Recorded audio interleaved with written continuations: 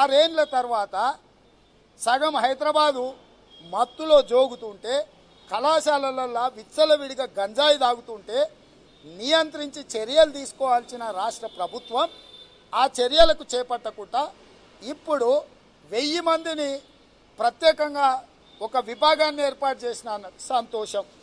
మరి ఇది జాతీయ స్థాయిలో పేరెన్నిక గన్న విభాగము అంతర్జాతీయ స్థాయిలో విచారణ చేయడానికి అధికారులు ఉన్నారు వాళ్ళ అన్ని డిపార్ట్మెంటును సమన్వయం చేసుకొని ఈ డ్రగ్స్ సరఫరాదారుల మీద ఉక్కుపాదం మోపుతాము జైలుకు దోలుతామని అంటే ఎందుకు రాష్ట్ర ప్రభుత్వం సహకరిస్తలేదు సమాచారం ఇస్తలేదు?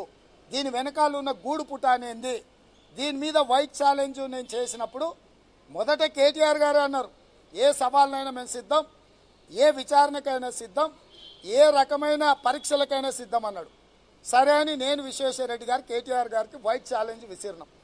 ఏందయ్యా వైట్ ఛాలెంజ్ ఉద్దేశం అంటే మేము పోయి మా రక్తము మా ఎంట్రుకలు మా నమూనాలు ఇచ్చి మేము ఎలాంటి డ్రగ్స్ తీసుకుంటలేమని యువతకు ఆదర్శంగా ఉండాలనుకున్నాం. ఇప్పుడు చెట్ల సంతోషి ఉన్నాడు. సెట్లు నాటి గ్రీన్ ఛాలెంజ్ అని ఆయన సెట్లు నాటుతున్నాడు. దానికి ఆయన గ్రీన్ ఛాలెంజ్ అని పెట్టిండు. అంటే ఒక్కడు నలుగురికి ఆయన ట్యాగ్ చేస్తే ఆ నలుగురు చెట్లు నాటి ఆ నలుగురు మళ్ళీ నలుగురు నలుగురికి పదహారుకు. సేమ్ అట్లనే ఒక వైట్ ఛాలెంజ్ విసిరినాం. నేను ఇంకొక ఇద్దరికి ట్యాగ్ చేస్తా. నేను పరీక్ష చేయించుకొని ఇంకో ఇద్దరికి చేస్తా. ఆ ఇద్దరు పరీక్ష చేయించుకొని ఇంకో ఇద్దరికి చేస్తే ఇట్లా తెలంగాణలో ఉండే యువత మొత్తం మేము డ్రగ్స్ తీసుకుంటలేము అని చెప్పి రక్త నమూనాలు వెంట్రుక నమూనాలు అన్నిచ్చి మనం పరిశుద్ధంగా ఉన్నాం. మేము ఏమాత్రం ఇలాంటి వాటికి బానిస కాలేదని ఆదర్శంగా నిలబడదామని నేను మొదట ఛాలెంజ్ విసిరి నేను ఇద్దరికి ట్యాగ్ చేసిన. ఒకటి విశ్వేశ్వరరెడ్డి రెండు కల్వసుంట డ్రామారావుకి చేసిన. అప్పటి వరకు సవాలు విసిరి సయ్యని నేను ఎప్పుడైతే ఆయన ట్యాగ్ చేసినో ఎంబడే కోర్టుకు పోయిండు. ఇట్లాంటి సవాళ్ళు నాకేదు మీరు స్టే ఇవ్వండి నన్ను రేవంత్ రెడ్డి ఇట్లాంటుండు అట్లాంటుండు స్టే ఇవ్వండి అని. ఇవాళ కోర్టులో స్టే తెచ్చుకున్నాడు. కాబట్టి నేను ఎలాంటి మాటలు మాట్లాడకూడదని కోర్టు అన్నది కాబట్టి నేను ఏం మాట్లాడతలేని విషయం గురించి. కోర్టు ఆదేశాలను నేను పాటించాలి కదా. కేటీఆర్ గారు కోర్టుకు పోయినరు కోర్టులో పోయి ఆదేశం తెచ్చిన. అందుకే నేను ఆ విషయాల జోలికి వెళ్ళదలుచుకోలే. కానీ ఇప్పుడు నేనేమంటున్నంటే రాష్ట్ర ప్రభుత్వము ఈ డ్రగ్స్కు సంబంధించిన సందర్భంలో ఏదైతే అరెస్టు చేసినప్పుడు సేకరించిన మొబైల్ ఫోన్లు కంప్యూటర్లు ల్యాప్టాప్లు ఇతర డిజిటల్ సమాచారాన్ని ఈడీకి ఎందుకు ఇస్తలేరు? ఈ ఒక్క అనుమానాన్ని కేసీఆర్ గారు నివృత్తి చేయాలి తెలంగాణ సమాజానికి. నేను ఎవ్వరి మీద ఆరోపణలు చేస్తలేను. నేను ప్రశ్నిస్తున్న రాష్ట్ర ప్రభుత్వాన్ని. మీరు ఏర్పాటు చేసిన స్పెషల్ ఇన్వెస్టిగేటింగ్ టీమ్ సేకరించిన డిజిటల్ ఇన్ఫర్మేషన్ని ఎన్ఫోర్స్మెంట్ డైరెక్టరేట్కు మీరు ఎందుకు ఇస్తలేరు? మీకున్న బాధ ఏంది అభ్యంతరం ఏంది మీ భయం ఏంది మీ భయానికి గల కారణాలు ఏంటివి ఎవరి గుట్టు రట్టయితున్నదని మీరు అనుకుంటున్నారు?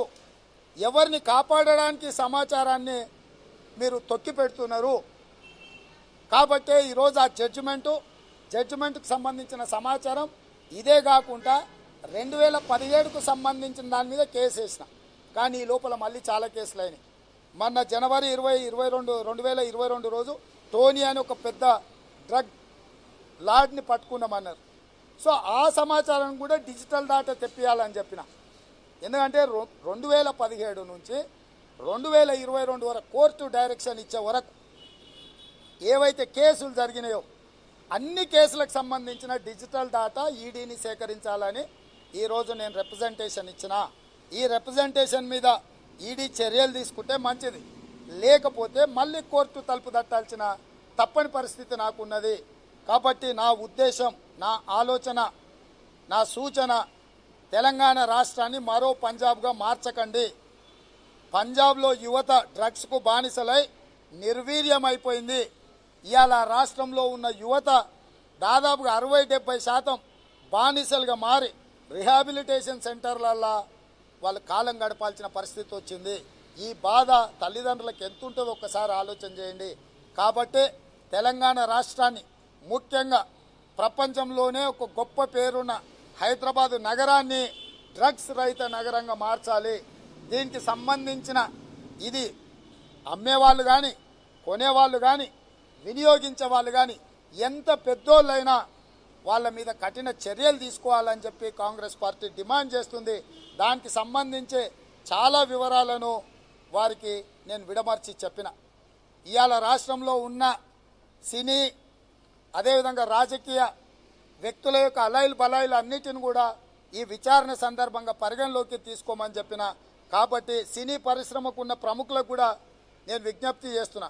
సినిమా పరిశ్రమలో ఇలాంటి వ్యవహారాలకు తావు లేకుండా మీరు చూడండి సినిమా పెద్దలుగా. సినిమా ఇండస్ట్రీ సమాజానికి ఆదర్శంగా ఉండాల్సిన ఇండస్ట్రీ. మీరు తీసే సినిమాల ప్రభావము సినిమాలలో నటించే హీరోల ప్రభావము సినీ ప్రముఖుల ప్రభావము సామాన్య ప్రజల మీద తెలంగాణ సమాజం మీద ఉంటుంది కాబట్టి మీరు సమాజానికి ఆదర్శంగా ఉండే విధంగా మీ ఇండస్ట్రీని మీరు కాపాడండి. మీ ఇండస్ట్రీలో కొంతమంది చేసే తప్పుల వల్ల మొత్తం ఇండస్ట్రీని తప్పుపట్టాల్సిన పరిస్థితి వచ్చింది. కాబట్టి దయచేసి రాజకీయ ప్రముఖులతో మీరు అంటగాగుతూ మాకేం అభ్యంతరం లేదు. మీరు అల్లాయి బల్లాయి చేసుకుంటే అంతకంటే అభ్యంతరం లేదు. కానీ ఈ అల్లాయి బల్లాయి ముసుగులో అడ్డగోలుగా వ్యవహారాలు ఎవరైనా చేస్తే మాత్రం తాట తీయాల్సిన పరిస్థితి వస్తుంది. పన్నెండు నెలల్లో కాంగ్రెస్ పార్టీ అధికారంలోకి వస్తుంది. డిసెంబర్లో ఈ ప్రభుత్వం రద్దవుతుంది మార్చిలో ఎన్నికలు వస్తాయి. ఎన్నికలు వచ్చిన తర్వాత కాంగ్రెస్ అధికారంలోకి వస్తుంది. ఈ డ్రగ్స్కు సంబంధించిన వినియోగదారులు కానీ అమ్మకందారులు కానీ సహకరించే వాళ్ళు కానీ పొలిమేరులు దాటండి. ఈ రాష్ట్రంలో ఉంటే కాంగ్రెస్ అధికారంలోకి వచ్చిన తర్వాత ఒక్కరొక్కరిని గుడ్డలు ఇప్పదీసి బరిబత్తల బజార్లో తిప్పి ఈ నేరస్తులే ఈ వ్యసనాలకు ఈ వ్యవహారాల కారణమని నడి బజార్లో తిప్పే పరిస్థితి వస్తుంది. చార్మినార్ దగ్గర బట్టలు లేకుండా డ్రాయర్ మీద తిప్పుతా కాంగ్రెస్ అధికారంలోకి వచ్చిన తర్వాత ఈ గంజాయి ఈ డ్రగ్స్లలో పాల్గొనేటోళ్ళు మీరు ఎవరైనా ఉండొచ్చు కాక మీ వెనకాల ఎవడైనా ఉండొచ్చు కాక మీరెంత ప్రముఖ నటులైనా అయి ఉండొచ్చు రాజకీయ నాయకులైనా అయి ఉండొచ్చు. గుర్తుపెట్టుకోండి రేపు మార్చిలో రెండు వేల ఇరవై మూడు మార్చిలో కాంగ్రెస్ అధికారంలోకి వస్తుంది. పన్నెండు నెలల మా ప్రభుత్వం వస్తుంది. మా ప్రభుత్వం వచ్చిన ఎంబడే ఈ డ్రగ్స్ రిలేటెడ్ వ్యక్తులను ఒక్కనొక్కని ఎతికి బొక్కలున్న పట్టుకొచ్చి ఈడ్చుకొచ్చి పక్క రాష్ట్రాలుగా పక్క దేశాలకు వారిపైన పట్టుకొచ్చి బరిబత్తలో బజార్లో నడిపిస్తా. ఎందుకంటే ఇంకొకడికి ఇట్లాంటి నేరం చేయాలంటే భయం ఉండాలి. అలా భయపెడితే తప్ప ఈ నేరాన్ని అణిచివేయలేము. దీని మీద కఠిన చర్యలు తీసుకోవాల్సిందిగా అధికారులకు విజ్ఞప్తి చేస్తున్నా.